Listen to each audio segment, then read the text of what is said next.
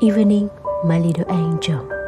Today I will tell you the story to listen to before going to sleep.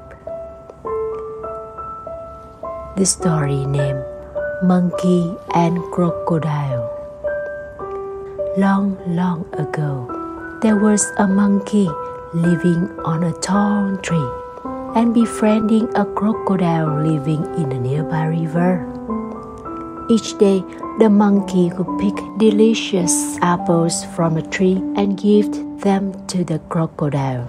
Upon receiving the gifts from the monkey, the crocodile would take them back and eat them with his wife. The crocodile's wife was very greedy and desired to eat the monkey's heart as well. Hearing his wife's wish, the crocodile was hesitant but still went along with it. The crocodile invited the monkey to sit on his back for a tour of the river, but in reality, he intended to kill the monkey to take his heart.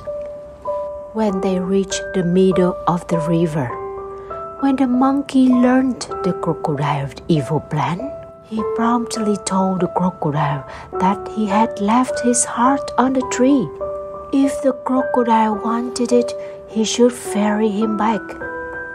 The crocodile believed the monkey ferried him back to the tree to retrieve the heart. However, upon arrival, the monkey swiftly climbed up the tree and disappeared in no time. And so, the crocodile's plan utterly failed. Today's story time is over. I wish my little love a good night's sleep. I kiss you long on your forehead. See you again next time.